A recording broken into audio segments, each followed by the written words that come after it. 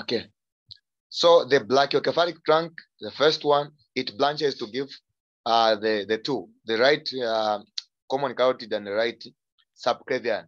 But the subclavian has got a lot of branches. They just begin, they just start bran branching there. You've got this one, the first one, which is called right internal thoracic artery. It branches going down there. You're able to see it. It's going down there. That's the uh, right internal thoracic artery. So if you have the right, meaning that you also have the left uh, internal thoracic artery. So it branches somewhere there on the left subclavian there.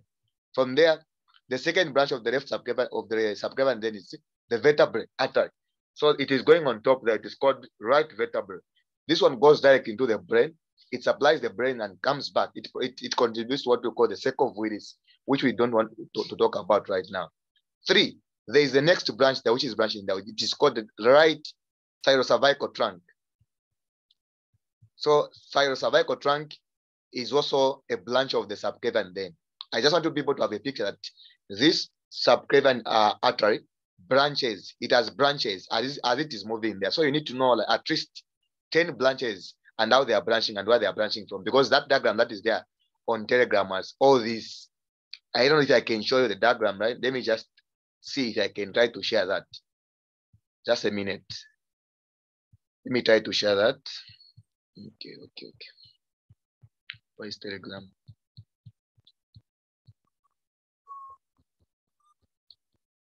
Hmm, Telegram is not there. Just a minute, see, just a minute.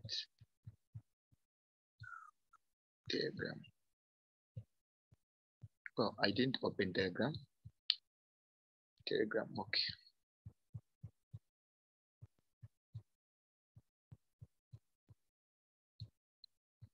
So, so um, as we are waiting for Telegram to open on my PC, uh, let's proceed. So I'm saying this uh, uh, artery branches, they branch as they are moving that side. So you've got the first one, which we said is the right vertebrae. I know the internal thoracic artery, and we have the right and the left internal thoracic arteries. And then you have got the subclavian going that side. When it reaches this side, as it is uh, um, how can I say, it? proceeding or exceeding the uh, clavicle here, it becomes what we call the axillary artery. It becomes the axillary artery. And then from there, it is going, as it is going that side, it is branching. So you need to know at least all those branches that are there. And that, that, that is why I want to show you that question so that you see what I'm talking about. Where is that question? Where is it? Okay, okay, okay. Okay. Okay, still downloading, huh? Okay, so that's it there on the diagram. Please know this diagram. I'm going to uh, to show you the question at, at the end. For this one, we've done it, huh?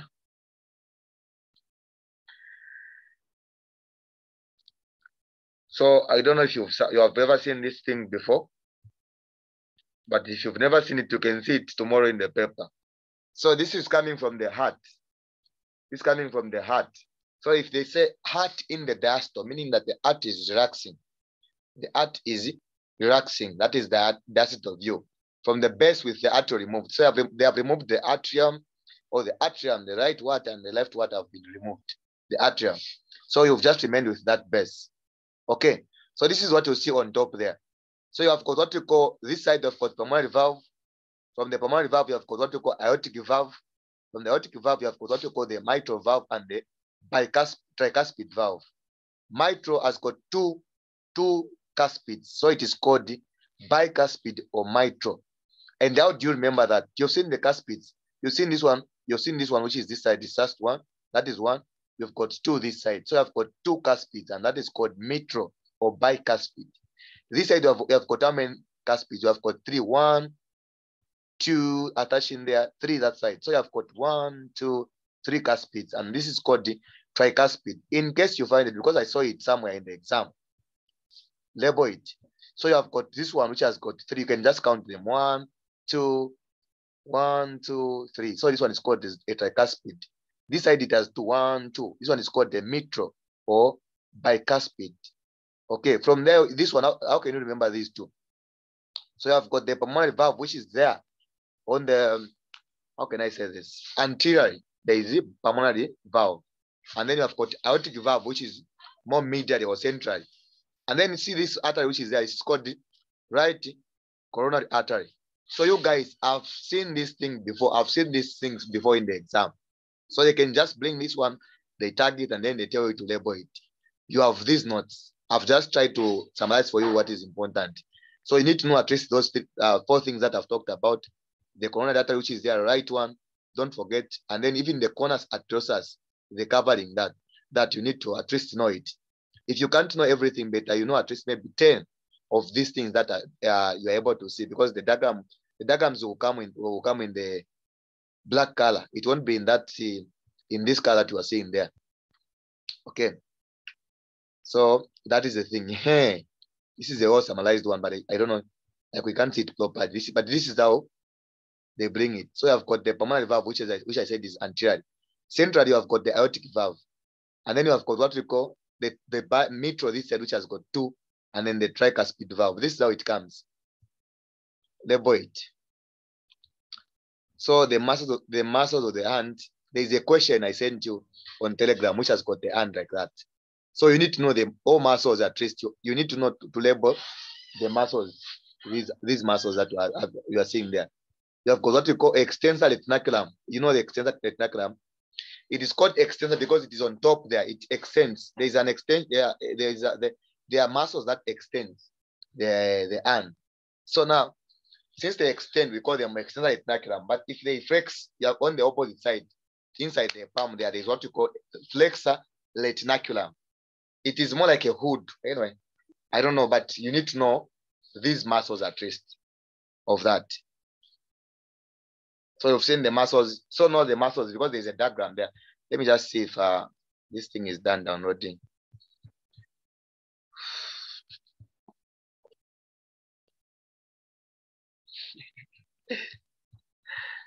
ah, dog, dog.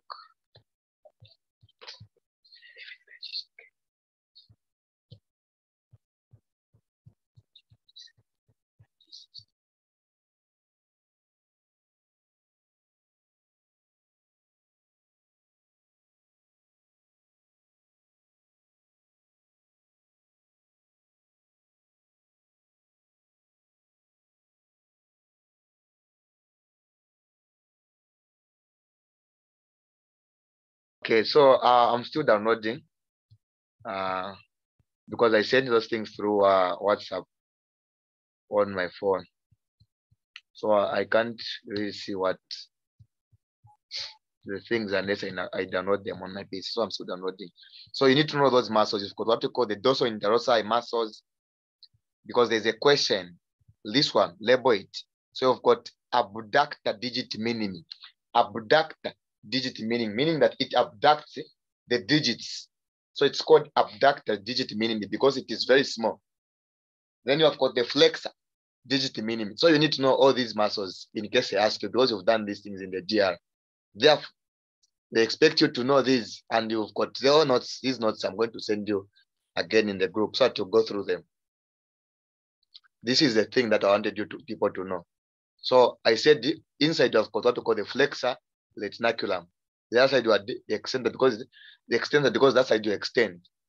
Opponens pollicis, meaning that this muscle goes to the opponents, which is the the the the, the thumb. It's called it is called the. Remember the opposition thing.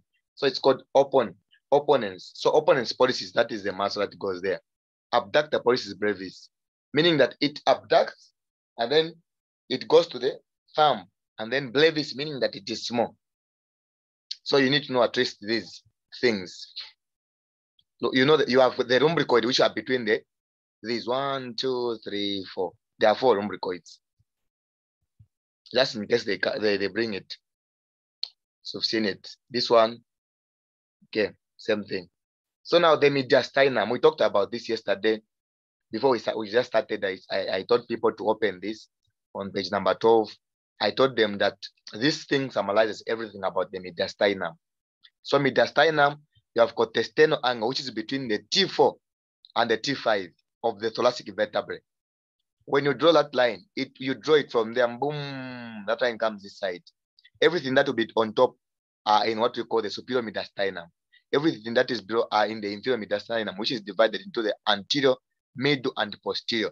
So now the homework is you people to go and understand the anterior uh, what, what is in the anterior mediastinum, what is in the middle mediastinum, and what is in the posterior mediastinum. Okay. That is what we're supposed to know there. So now know that when you cut there, the, the ascending aorta and the descending aorta, they are more like they are more like on the superior mediastinum. These branches are all in the superior mediastinum. Everything is on top there in the superior mediastinum. Even the sternum, it is divided, but it is not in the mediastinum. Because we said we said this mediastinum is between the two lungs. That is where it is. So that's that's it there. Go through that uh, page 12. I know you can't go through the questions. I mean the MCQs and understand them. I mean the the notes. Like you have a lot of notes that you people have to go through, but you can't manage because of time.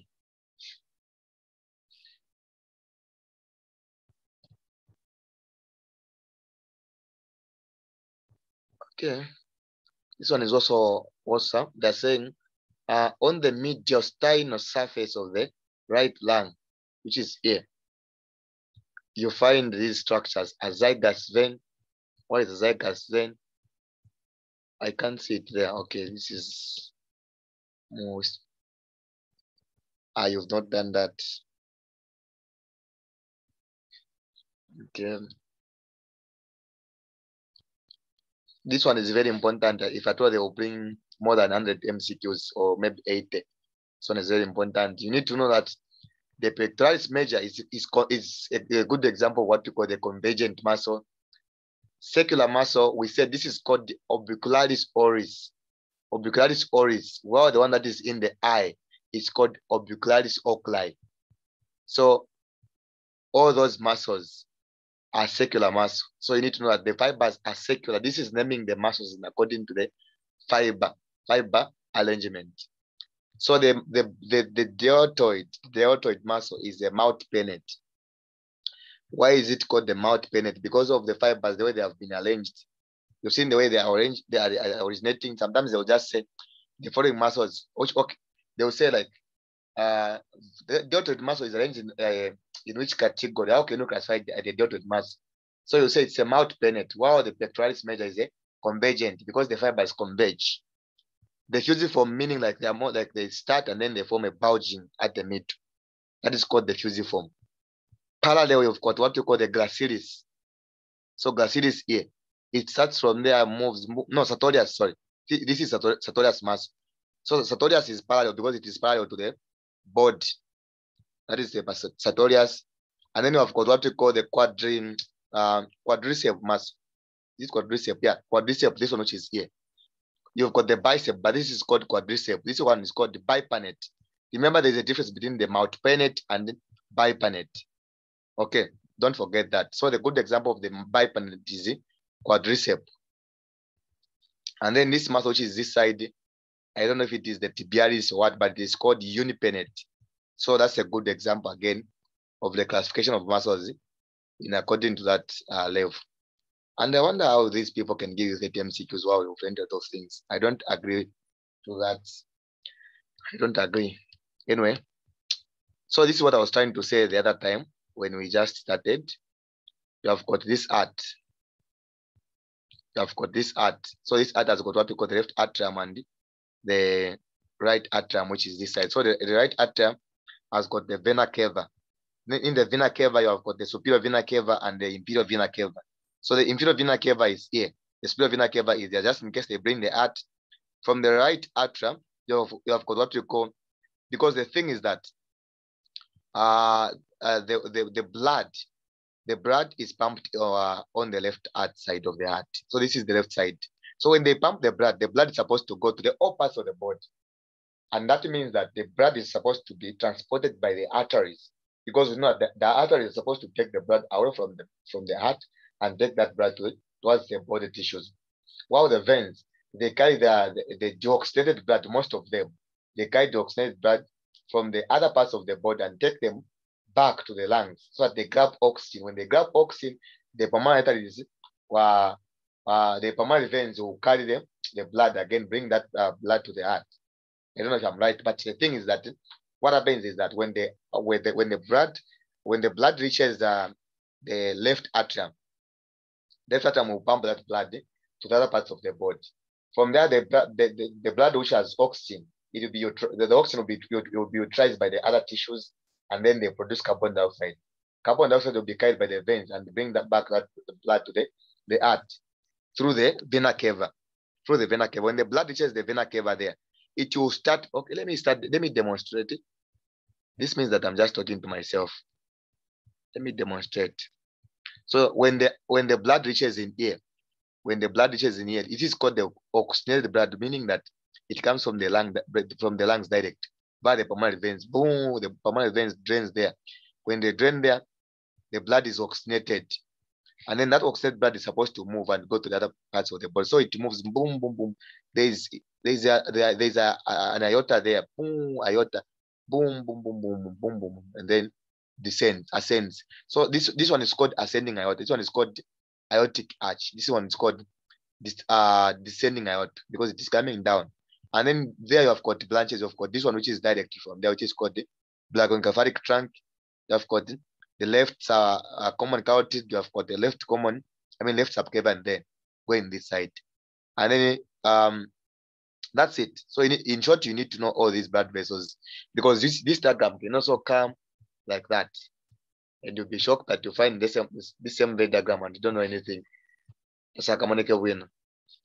So uh, you need to go through that structure. This one is the mediastinum. Mediastinum.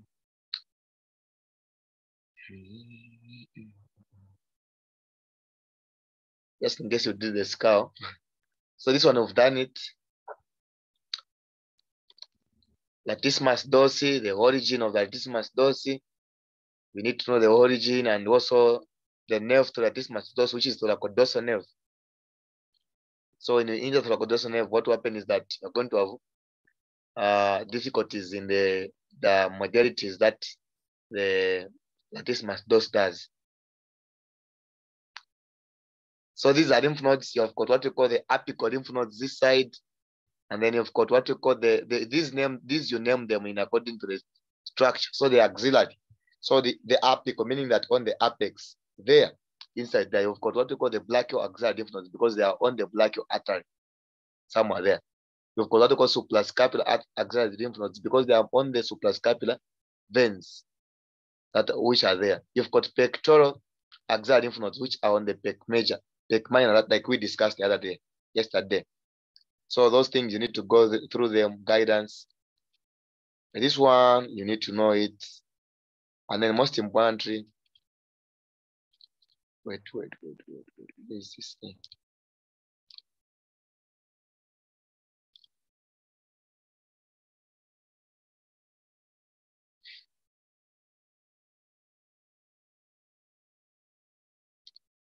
Wow, this one coming this one. So joints, don't forget that the joint that is between the humerus and the hip is called the and socket joint because the ball comes from the humerus, while the socket is the hip itself. So that is called the ball and socket joint. Says another joint, and it moves in all three directions. That that's what that's what we said. And then if you talk about this joint that is on, we said it's condyle joint, and we said this between the radius and the carpal bones. Don't forget that the wrist joint is formed by the radius and the, the carpal bones. So it is not formed by the ulna, please. Don't forget that. While the hinge joint is the joint that is formed by the, the humerus and the ulna this side. And this is called the hinge. I don't know. I don't know how to pronounce this. Madam Shan has been laughing at me every day when I mention, when I talk about the hinge joint. So I don't want to say it. So you have got again the joint which is between the carpal bones because you have got the carpal bones which are the lunate, hamate, what, what, those couple bones. They have the, they have this joint with, um, okay, they have this joint with uh, the metacarpals because you have got four metacarpals, which is, which, okay, you have got four metacarpals which are situated in A. Oh my God. So they are A. I can't annotate them. I think we know them. So we have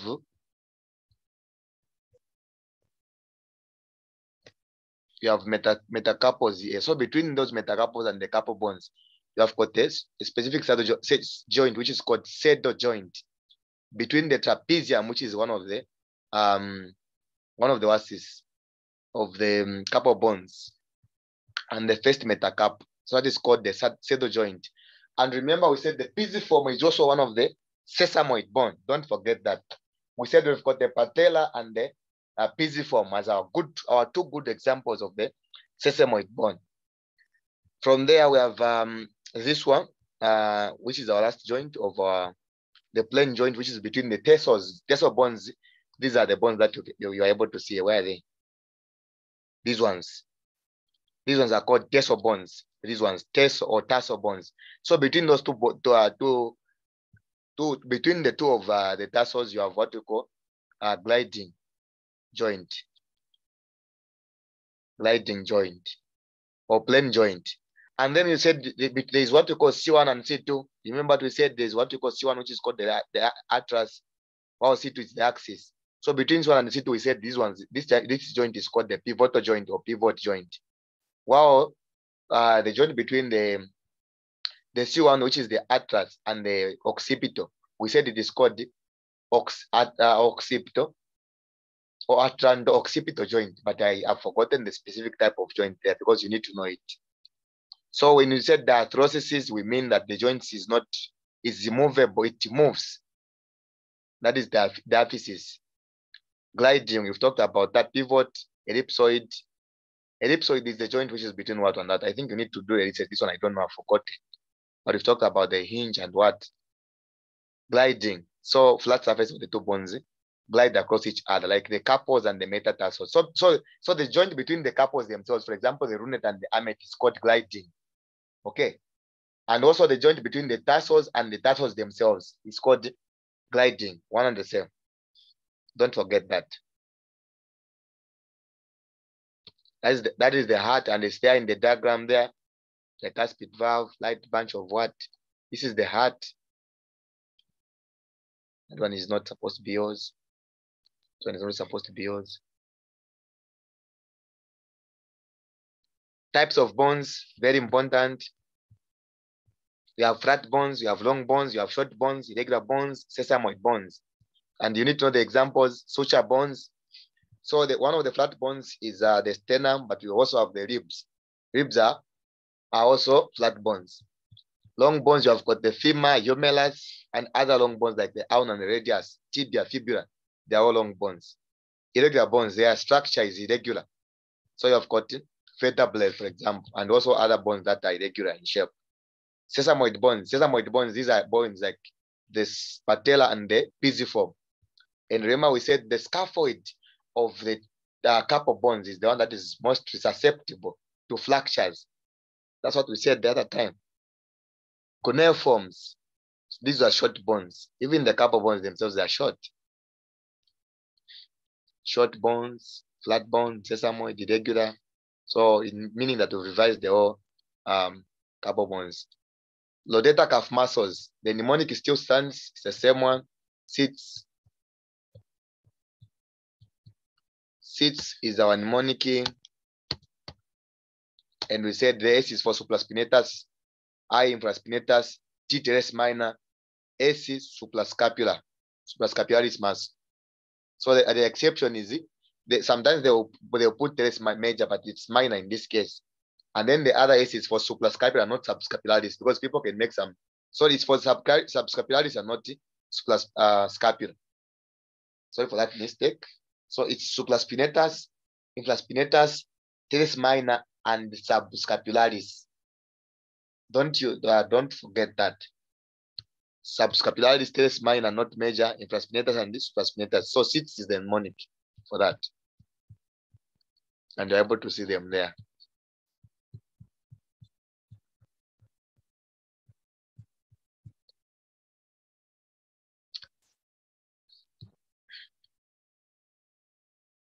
So this is what we talked about. Uh, and our time has finished so we can just log out and then log in. Immediately as okay, okay. time is done